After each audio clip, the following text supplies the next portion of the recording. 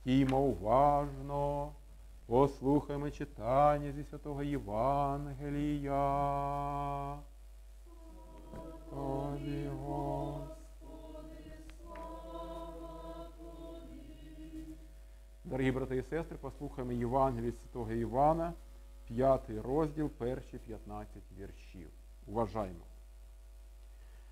Після того юдейське свято було, і до Єрусалиму Ісус відійшов. А в Єрусалимі біля брами овечі є купальня, Віфезда по-єврейському зветься, що мала п'ять ганків. У них лежало багато слабих, сліпих, кривих, сухих, що чекали, щоб воду порушено.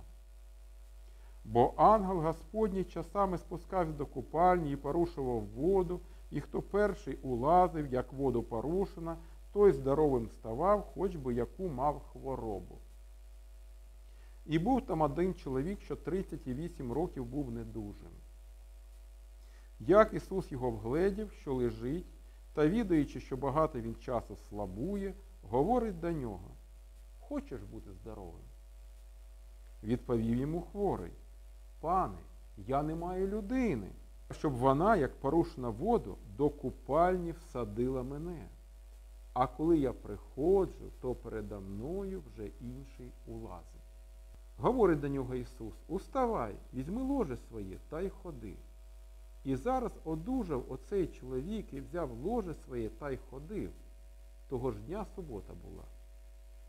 Тому то сказали юдеї здоровленому, є субота, і не годиться тобі брати ложа свого. А він відповів їм, хто мене вздоровив, той до мене сказав, візьми ложе своє та й ходи. А вони запитали його, хто той чоловік, що до тебе сказав, візьми ложе своє та й ходи. Та не знав оздоровлений, хто то він, бо Ісус ухилився від народу, що був на тім місці. Після того Ісус стрів у храмі його та й промовив до нього. Ось видужав ти, не гріши ж уже більше, щоб не сталося тобі чого гіршого. Чоловік же пішов і юдеям звістив, що той, хто його вздоровив, то Ісус. Це Слово Боже.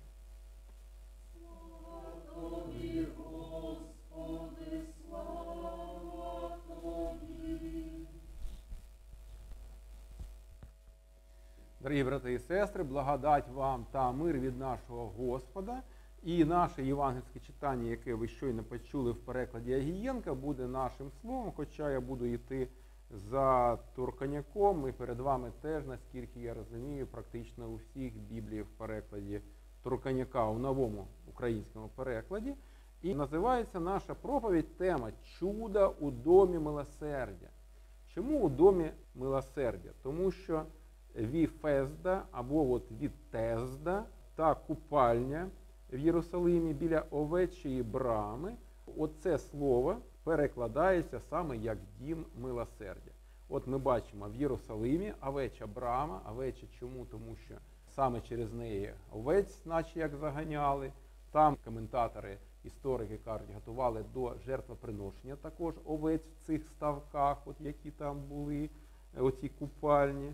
Дуже цікаво, багато можна почитати про історію цієї купальні від Тезда біля овечої брами. У коментаторів і зараз в інтернеті все це є. Залишились археологічні, навіть не артефакти, а оці руїни.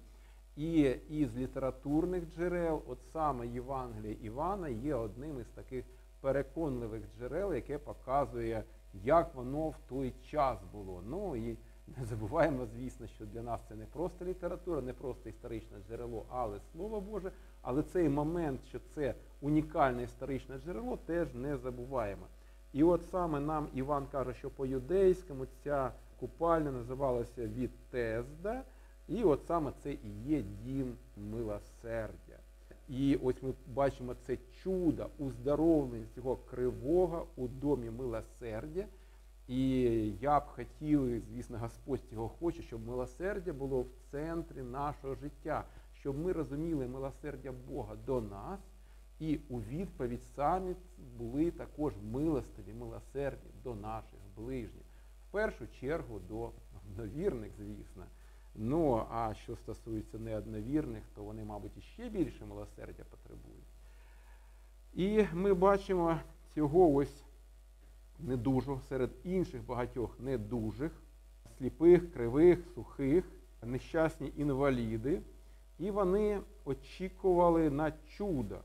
До речі, в наших перекладах, які ви тримаєте перед собою, і я третього вірша другої половини, і весь четвертий в таких квадратних дужках, і це показує, що далеко не в усіх манускриптах Біблії воно вміщається. Можливо, це було як коментар до одного з наступних віршів, коли цей хворий каже Ісусу, що немає людини, яка має всадити або тут вкинути, буквально так передає нам турканяк до цього ставку, щоб ангел Господній уздоровив. Ну, я думаю, що це не настільки для нас важливе, а для нас важливо, щоб ми очікували благословень і милосердя в першу чергу, милосердя найбільшого прощення наших гріхів, звісно, від самого Бога, а не від ангела чи якихось інших посередників. І також дуже гарне місце, яке показує, що ми власними силами є неспроможними щось зробити. Ну, і в духовній царині, дозвольте таке трошки алегоричне трактування. Тобто ми бачимо цього паралітика, який не може сам зцілитися, і нема іншого посередника. Ну-ка, 38 років він інвалід.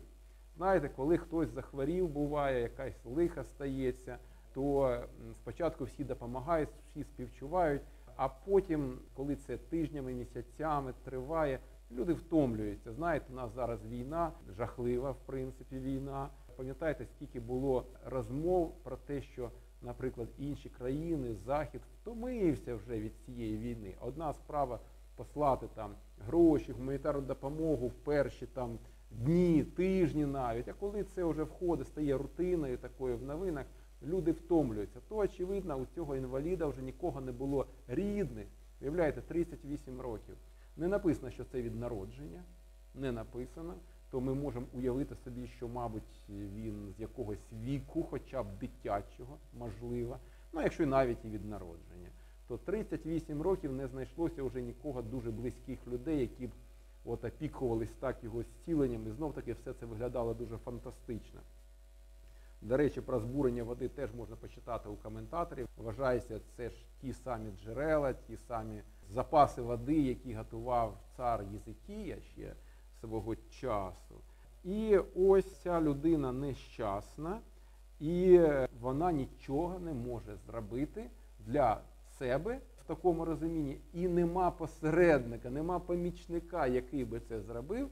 От таке, от, дозвольте ще раз, духовне алегоричне трактування.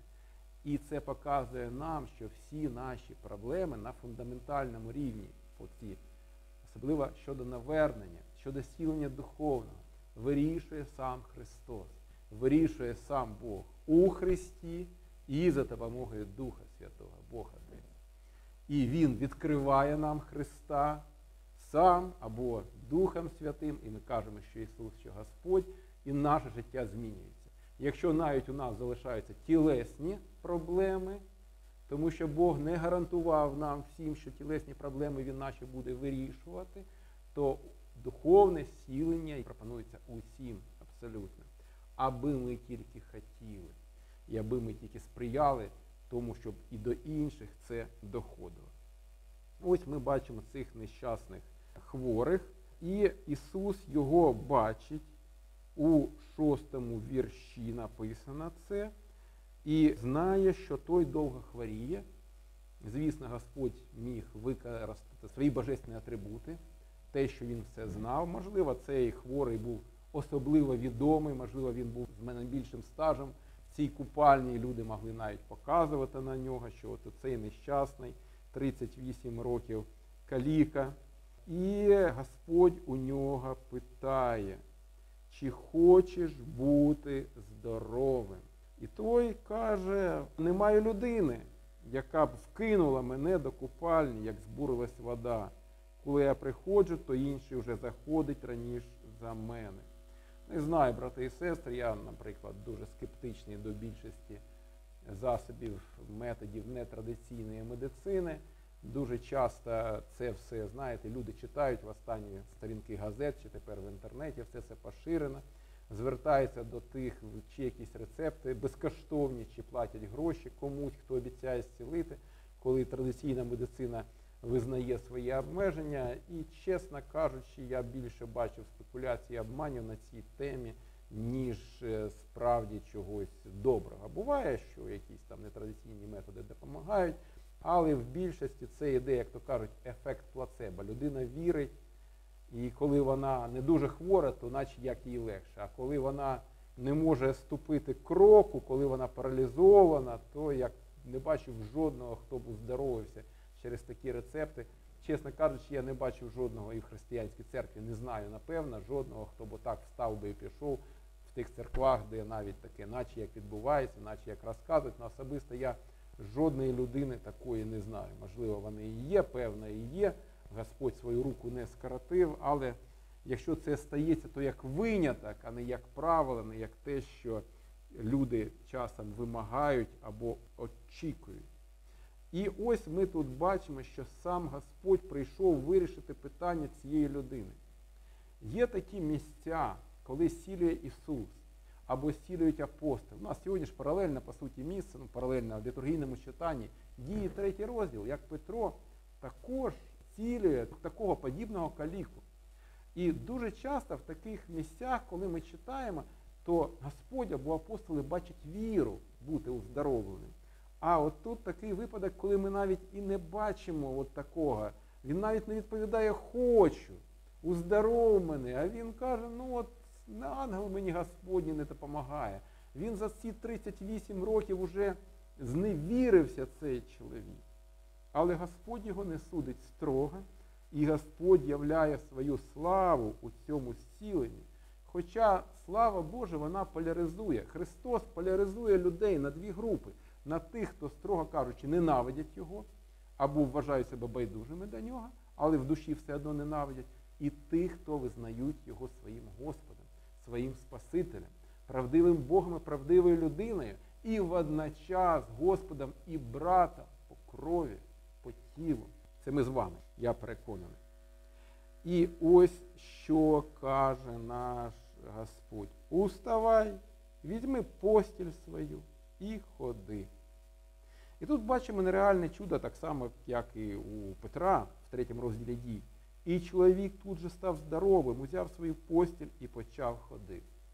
Знаєте, з точки зору навіть звичайної фізіології людської були проведені досліди свого часу, коли спортсменів вкладали на місяць, на два, на якісь терміни. І був такий час, коли вони лежали в ліжку, от примусово, не будучи хворими, настільки деградували, атрофувалися м'язи, що вони не могли ходити одразу вже після такого тривалого перебування у ліжку. Що казати про цього от паралізованого? І подібно до того, як із пацієнтом, скажімо так, Петра, це була відома історія для всіх каліцтва цієї людини. Це вражало всіх, як і в інших моментах. Це не були підсадні качки, знаєте, як на якихось концертах, або як часом так люди претендують на те, що вони оздоровлені, навіть такі. Я чув жахливі історії на цю тему, які там дар вспоможення, щоб там хтось повірив, чудо побачив і до Христа прийшов. Але ми бачимо реальне уздоровлення цієї людини. І отут, після того, як здається, вже щасливий кінець, чуда, в якому має бути, звісно, якась мораль, на зразок твоя віра спасла тебе, або іди і більше не гріши. Це, в принципі, іще попереду останнє. Тут у нас виходить скандал. Скандал суботи.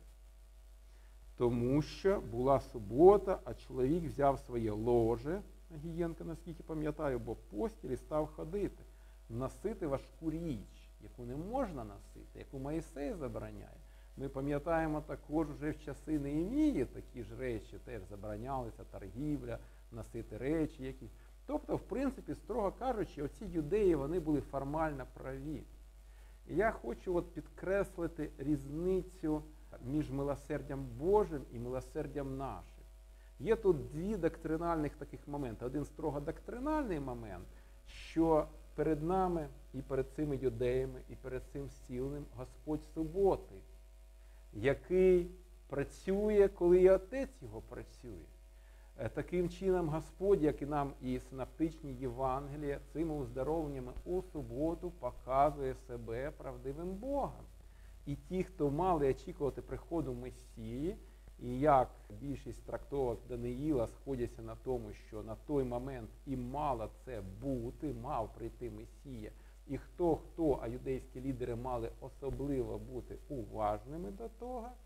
Тобто вони мали впізнати самого Господа Бога втілено. Це одна сторона. А друга сторона, отак от для нас моральна, щоб ми, знаючи Слово, були милосердними до наших ближніх. Щоб ми могли радіти так само, як приходить той старший син із притчі про блудного сина або про двох синів, цього батька нещасного, який, можна сказати, втратив уже свого сина, непутящого, за якого серце, мабуть, найбільше боліло. І щоб отак от радіти, коли той, хто страждав, може він там, хай про блудного сина він радів у своїх гріхах, а потім страждав від їхніх наслідків. І ось він прийшов, був мертвий і знайшовся, а старший син не радіє. І тут був каліка 38 років. Але цих юдейських лідерів хвилює що? От буква закону, точність віросповідання, от таке.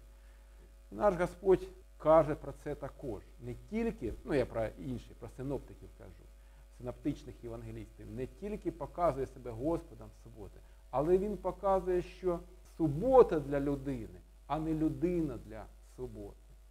Але ось юдеї тоді кажуть, що не годиться носити постіль, той одразу уздоровлений виправдується, що той, хто мене зцілив, той сказав, бери постіль і ходи. Ті виясняють, хто це був, уздоровлений не знає.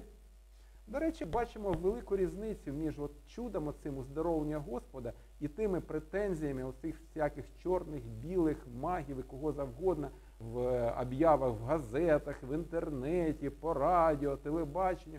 Вони завжди вихваляють себе і завжди призивають прийти до себе.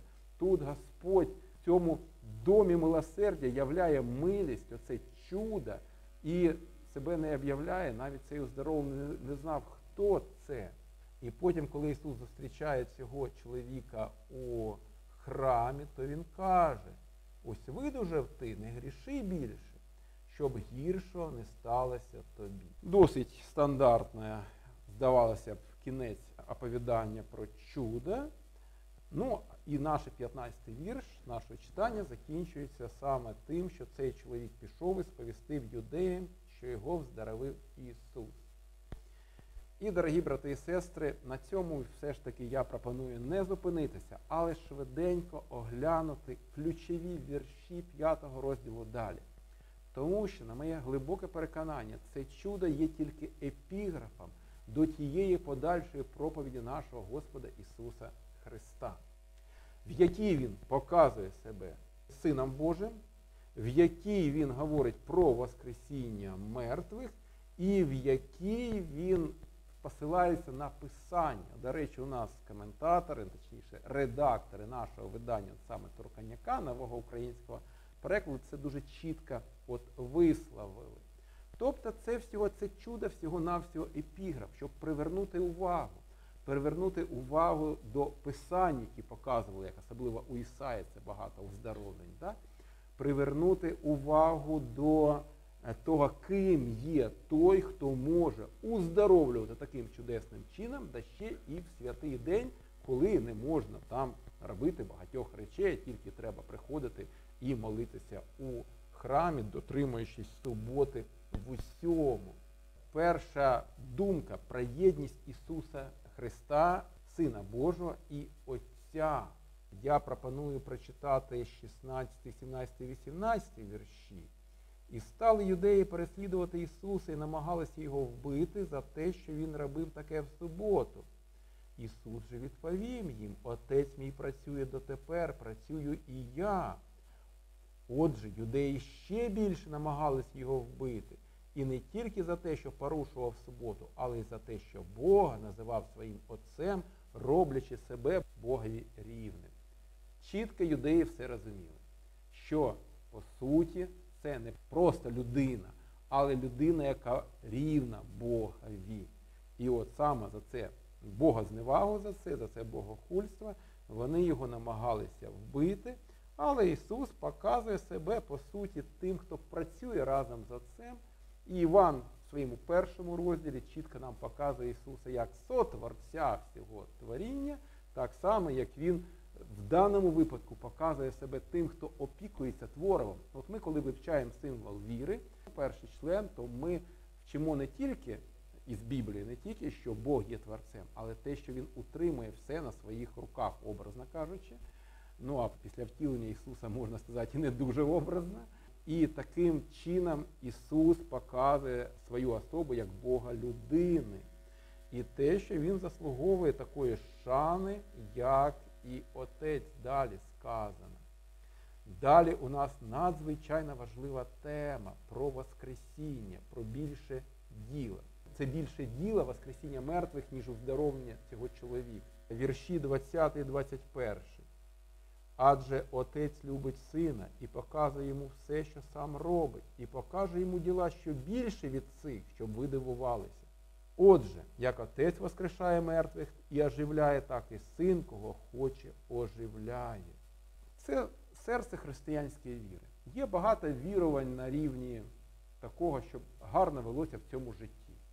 Наприклад, там, постукати по дереву, уникнути того, щоб чорна кішка чи сусід з порожнім відром перейшов дорогу, піти поставити якусь свічку святому Пантелеймону, щоб не хворіти, і все інше. Звісно, всемогутній Господь благословляє нас і в нашому щоденному житті, і в нас є відповідні молитви.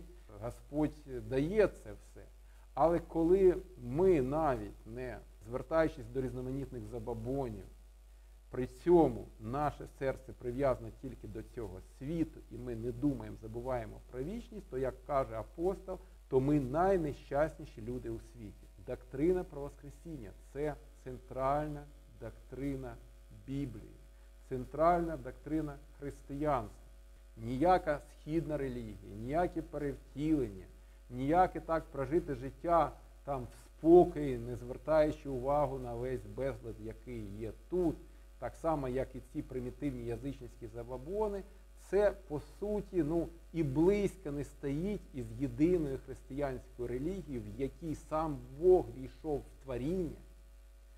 Причому творіння повністю з нічого створено ним, став частиною творіння, от людиною одним із нас, і прийняв прокляття, яке належить нам з вами на себе, для того, щоб виправдати нас. І далі ми бачимо от про це чудо Воскресіння і як ми його можемо отримати. Це 24 вірш. Знову і знову запевняю вас, або краще, як Агієнка, істина, істина, наскільки я пам'ятаю, кажу, що хто слухає моє слово і вірить у того, хто послав мене, має вічне життя і на суд не приходить, але перейшов від смерті до життя. Це прекрасне втішливе Євангеліє, що фізична смерть це не кінець, а тільки перехід. Знаєте, той старий жарт про двох гусениць, так? або є про немовлят, близнят в утробі мамині, або хай про гусениць я перший згадав. Коли одна каже, знаєш, ми там колись окостеніємо, на цьому не кінець, а потім ми перевтілимося, у нас будуть крила, ми будемо літати. А інша гусениця каже, та що ти верзеш? Помираємо і все. То от саме суть християнства, суть християнської віри в упованні, оце ось майбутнє. І ми його маємо і маємо вірою. Ми переходимо від смерті до життя. І отримує це через те, що віримо в Ісуса. Кожна лютеранська проповідь говорить про Христа кожна лютеранська проповідь говорить про віру. Часом може здатися, та скільки можна одне і те ж пастори та вчуть лютеранські вступи. Але, брати і сестри, коли ви навіть відвідуєте церкву щонеділі, благословені, навіть так, то ви тільки там 30-40 хвилин чуєте проповіді, 2 години, максимум півтори, перебуваєте в літургії, в прославленні Господа, отак от в спільноті. І от повністю, надіюсь, повністю, хоча як показує притча про сіяча і про те, як хто як слухає, які плоди приносить, то і тут у нас не завжди все добре. То, дорогі брати і сестри, ми з вами таким чином тут перебуваємо і чуємо цю втіху, яку ніде в світі ми не почуємо. Ми можемо почути не в церкві, це тільки читаючи Біблію, прочитати або слухаючи її, спілкуючись одне з одним не на служінні, а десь там на тижні, телефоном, при зустрічах, ну або ще на інших служіннях на тижні, які у нас теж часом бувають, все ж таки навіть під час війни.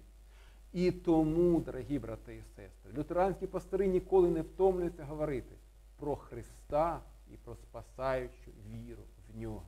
Тому що якою б не була наша праведність, якими б не були наші знання, якими б не було наше там пам'ять і розуміння якихось нюансів, там Тори, пророків чи псалмів, як би ми не знали іврити грецьку навіть. Але коли ми не маємо цієї віри, простої дитячої віри і уповання на Христа, це нічого нам не дасть. Ми будемо схожі на ту гусеницю, яка говорить, помираємо і все. Але у нас тоді гірше буде. Гусениця, вона все одно має перетворитися за нормальних обставин, якщо ніхто її не з'їсть у метелика. Але душа наша залишиться і полетить не вниз, а провалиться у пекло, якщо вже використати такі художні образи. Отже, ми бачимо не тільки про Воскресіння, але ми бачимо слово Господа про суд і про те, як ми уникаємо суду, осуду, точніше, Божого, уникаємо вірою, оминаємо цей суд вірою. І вірою в кого? Вірою в Сина Божого, який нас полюбив. І далі детальний Господь говорить про Воскресіння мертвих.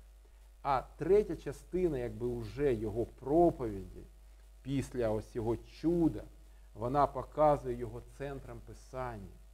Цей знаменитий вірш, який, вибачте, ваш пастор цитує через проповідь, коли каже Ісус, да сидіть на Писання, юдеї, думаєте, маєте вічне життя? Ні, воно свідчить про мене. Ось Писання, ось воно свідчить про Христа, ось наш вівтар про це показує. І про Христа розп'ятого, і про Христа, який воскрес, про Христа доброго пастиря. До речі, це теж наш Іван, який вже 10 розділ. І я завершу наші роздуми останніми віршами розділу саме 5, в додаток до 39. Бо коли б юдеям сказано, ви вірили Моїсеєві, то вірили б і мені, адже він написав про мене. Якщо ж ви не вірите Його Писанням, то як ви повірите моїм словам? Дорогі брати і сестри, я хочу благословити вас на цей тиждень, щоб ми вірили Писанням. А як ми будемо вірити Писанням?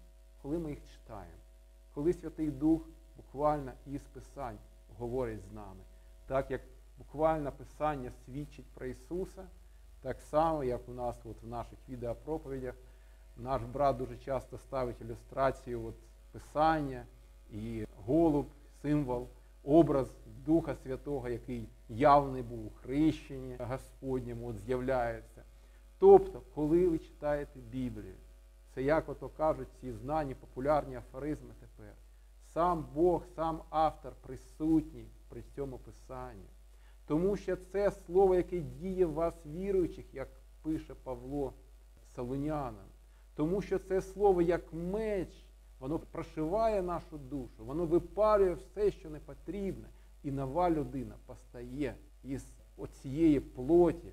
Нова людина, Христос розбудовується в нас, а старий Адам тоне у воді нашого хрещення, коли ми в покаянні починаємо кожний день молитви і завершуємо його, дякуючи Господу за прощення наших гріхів.